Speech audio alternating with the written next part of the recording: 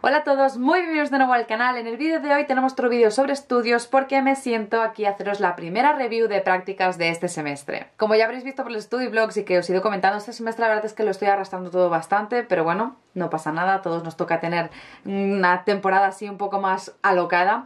Pero bueno, ya tengo notas de las primeras prácticas, así que voy a sentarme a charlar y enseñaros cada una de las primeras entregas que he hecho de cada asignatura. Pero antes de empezar con el vídeo voy a hacer un poco de recapitulación y comentaros cuáles son las asignaturas en las cuales estoy trabajando este semestre. Me he matriculado de cuatro y son estas. Por un lado tengo cultura visual y nuevos medios, diseño centrado en las personas, proyecto 2 que esta vez es diseño editorial y storytelling, recursos narrativos. Estas son las cuatro en las cuales estoy trabajando y os digo, de todas las primeras entregas ya tengo notas, así que os voy a ir comentando un poco qué me ha ido, qué tal me ha parecido todo y vamos a ver qué prácticas he tenido que hacer. Voy a empezar comentándoos la asignatura de cultura, que sin duda es la más densa a nivel teórico, tenemos que hacer muchas lecturas, tenemos que escribir textos eternos, reflexionando, analizando, relacionando con las teorías de las lecturas que hemos hecho, o sea, es una asignatura que realmente me parece muy interesante, las prácticas son bastante tochas, pero bueno, eh, no me está yendo mal, la verdad es que me parece interesante. Para esta asignatura el profesor organiza las prácticas en tres bloques diferentes, o sea, a lo largo de un mes y pico creo que es el tiempo que tenemos, o sea, la entrega final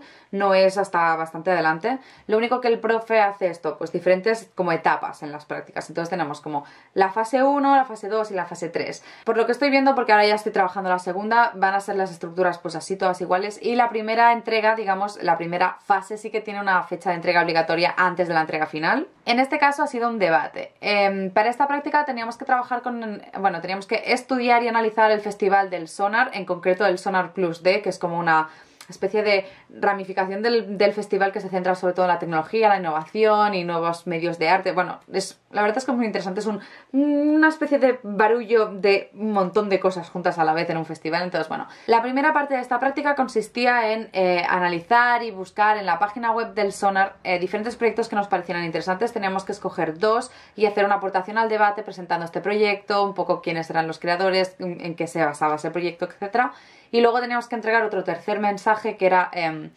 un poco así de rollo ideas y analizar y más de argumentación y tal. Bueno, esa fue como la primera parte, pero así más introductorio. En la segunda parte ya empezaba la chicha porque en esta parte teníamos que hacer una síntesis sobre unas lecturas que habíamos leído y entonces pues responder algunas preguntas sobre los estudios visuales, que es lo que estábamos trabajando, sobre cómo la imagen se ha ido sobreponiendo a la cultura contemporánea, ¿no? Entonces, bueno, hacer eh, un poco de análisis de las diferentes teorías y las diferentes aportaciones de varios autores que hay en los textos que teníamos que leer, bueno, y hacer esto texto mm, teórico argumentativo de unas 800, 1000 palabras o así.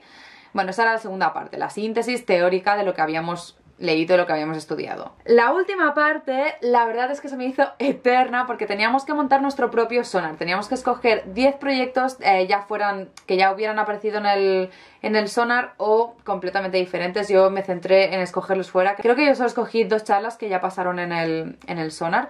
Lo que hice fue centralizar eh, esta especie como de festival satélite. Lo, lo localicé en la ciudad de Girona, que es una de mis favoritas.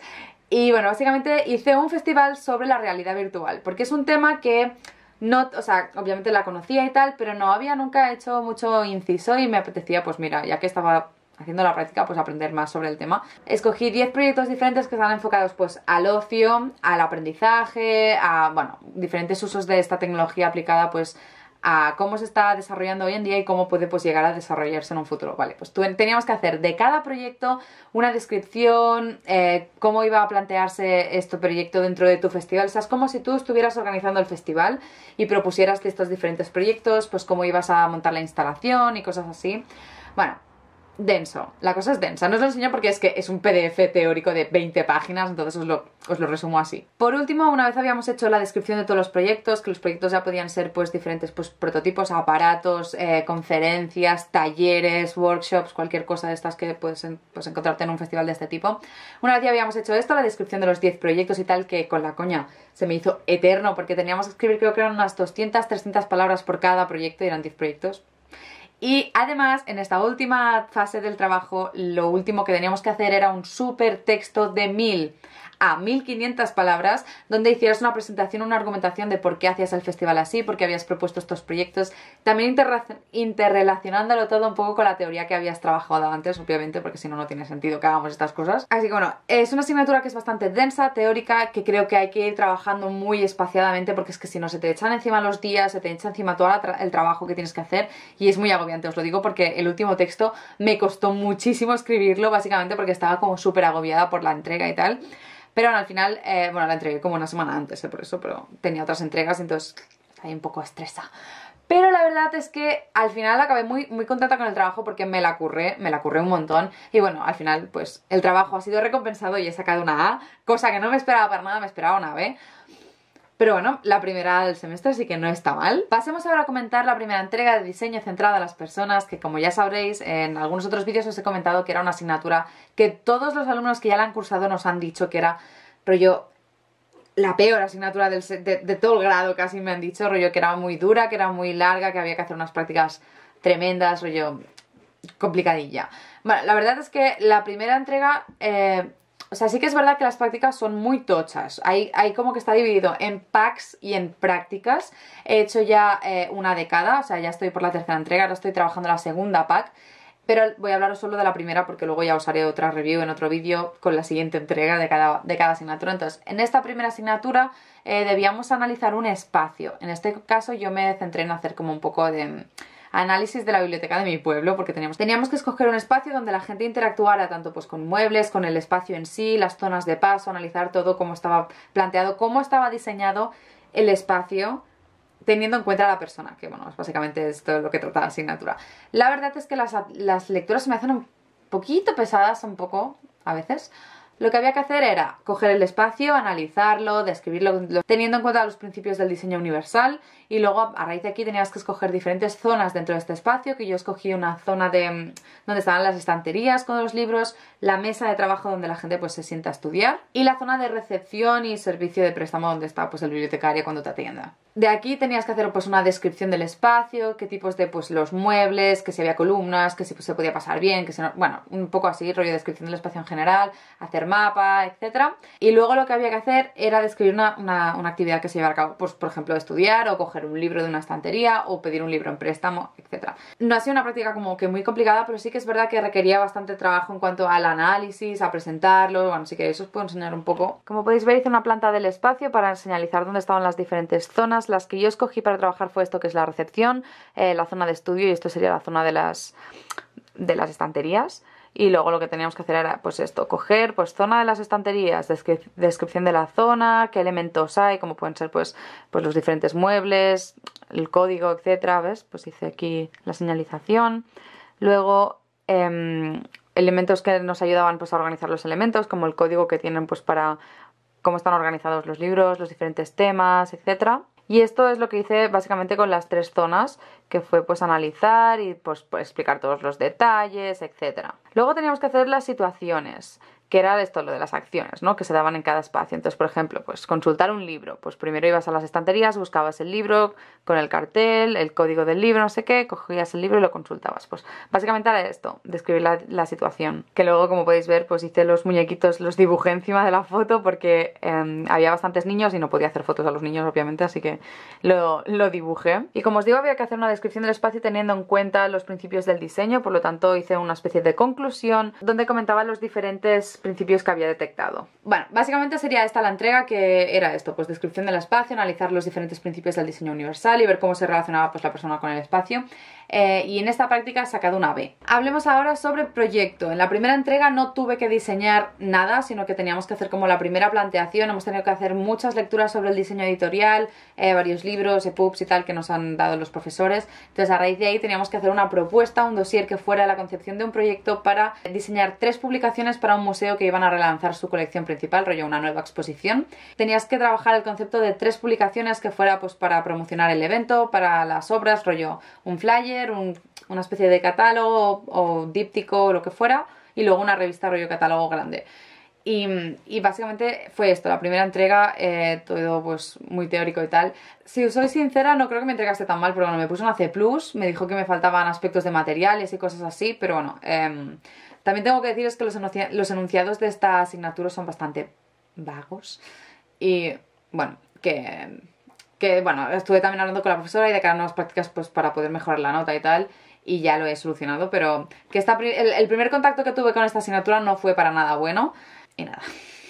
Ya os digo, no, no diseñé nada, hice como una especie de croquis de, de, bocetos, de diferentes ideas pues para las publicaciones y tal, que luego pues de cara a la segunda práctica fue lo que empecé a utilizar para trabajar, que ya os comentaré en, la próxima, en el próximo vídeo de prácticas qué tal me fue la segunda entrega, porque mm, fue durillo el proceso. Pero bueno, que ya os digo, fue como que las primeras entregas siempre son un poco de, de ver cómo funcionan las correcciones, qué es exactamente lo que el profesor está esperando, etcétera. Entonces, pues, en este caso, pues no me fue tan bien como, por ejemplo, cultura. Pero bueno, ya de, cara a próximas prácticas pues ya lo iré mejorando. Como os digo, este semestre se me han juntado bastantes asignaturas que son densas, que son teóricas y bueno, la única en la cual ya estoy empezando a diseñar es proyecto, pero el resto son muy teóricas. Y ahora os comento qué tal me está yendo Storytelling. Storytelling es una de las asignaturas que más ganas tenía de hacer porque básicamente pues es narrativa, ¿no? Es construcción de historias y es algo que tanto en diseño como en cualquier otro ámbito pues son conocimientos que creo que pues te son útiles. Y tenía muchas ganas de empezar a hacer esta asignatura. La verdad es que las prácticas son una... O sea, está planteada de una manera curiosa. Hemos tenido que hacer unas lecturas, como en todo. Lo primero que teníamos que hacer era escoger una obra, un cuento popular. Yo escogí La Caperucita Roja, la versión de los hermanos Grimm. Y bueno, hice un poco de investigación sobre el origen del cuento, que es origen de cuento popular, los autores que han hecho pues, sus versiones, como Perrault, que es el otro autor más conocido aparte de los Grimm. Y bueno, en esta primera fase tenemos que hacer un análisis literario de la obra, rollo como por ejemplo, pues tipo de narrador, cuál es la estructura, pues el inicio, el desenlace y el final, tipos de personajes, etc. Y ya una vez habíamos hecho todo este súper análisis del cuento, teníamos que coger esta historia y transformarla en un escape room. Aquí sí que yo me encontré un poco perdida porque, bueno, nos dieron bastantes recursos sobre cómo crear tu propio escape room y cosas así, rollo trucos y tal, pero wow, o sea, me, me, puse aquí en la pizarra a trabajar la historia, a pensar, vale, cómo voy a hacer las salas, hice un mapa de cómo iba a organizar las salas y tal, pero bueno, Básicamente fue eso, pensar un escape room, qué tipo de pruebas tendrían que superar los usuarios pues, para poder pasar de sala a sala, cuál era el reto, cuál era el objetivo del juego, que básicamente era eh, mi planteamiento de la historia es que cuando los, los, clientes o los usuarios pues empiezan, es una carrera contra el reloj, tienes una hora para poder solucionar el puzzle, para poder salir de la, de la sala donde básicamente vas a hacer una carrera contra el reloj, contra el lobo, porque tú tienes que cruzar todo el bosque hasta llegar a la casa de la abuelita, igual que el lobo, tienes que llegar antes del lobo para poder salvar a la abuelita. Entonces, eh, a lo largo de todo este recorrido por las salas, pues es como está todo ambientado en bosque y tienes que ir pues eh, descubriendo pues candados, códigos, pistas pues para poder pasar las diferentes verjas, las diferentes puertas que hay a lo largo de la sala. Luego tienes que ir recogiendo algunas herramientas como, como un hacha y algunas cosas que se, pues, se relacionan con la historia, pues el hacha del, leñador o por ejemplo pues eh, el bosque obviamente también es de la historia, el cestito de la, de la caperucita roja también estará. Bueno, son diferentes elementos que había que relacionar cosas características del cuento que pudieras usar pues, para crear las pruebas del, del, escape room. La verdad es que me pareció, o sea, me pareció original, estuve trabajándola mucho. En esta práctica he sacado una B y la corrección que me hizo básicamente el, profesor fue que me faltaba una cosita del análisis de la obra que me dejé un apartado y que querían un poco más de detalle en cuanto a las pruebas, rollo que yo hice como a grandes rasgos explicar las cosas que tenían que hacer sin concretar, eh, pues para pasar de la primera sala a la segunda tendrán que resolver un código que sacarán de una imagen de no sé qué. No lo hice así, sino que hice como plantear diferentes ideas y tal. Pero bueno, mejoraremos de cara a las próximas. Y nada más, eso sería todo por el vídeo de hoy. Espero que os haya gustado, dejadme abajo en comentarios cualquier idea o sugerencia para nuevos vídeos, decidme si queréis ver más study vlogs, que sin duda pues me sentaré aquí a trabajar y a charlar con vosotros cuando esté estudiando. Y nada, que espero que os haya servido el vídeo, dadle like y nos vemos en el próximo. Adiós.